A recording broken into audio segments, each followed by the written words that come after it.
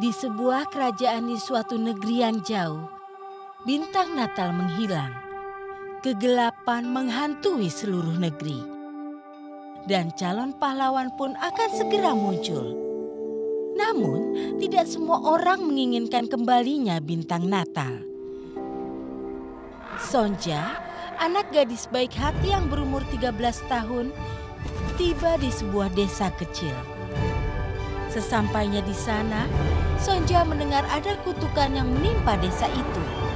Dahulu kala, satu-satunya putri Raja Goldhair menghilang selagi mencari bintang Natal. Sang ratu pun meninggal karena sedih dan ini membuat hati sang raja menjadi hancur akibat kehilangan istri dan putrinya.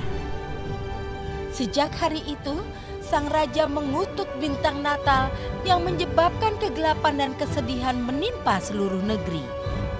Dan kabarnya, kutukan ini hanya bisa dipatahkan dengan menemukan bintang Natal. Sonja yang mendengar hal ini menjadi kasihan dan berusaha menolong melenyapkan kutukan itu. Bagaimanakah kelanjutan kisahnya? Berhasilkah Sonja menemukan bintang Natal dan melenyapkan kutukan yang menimpa negeri itu? Saksikanlah Journey to the Christmas Star hanya di channel My Kids.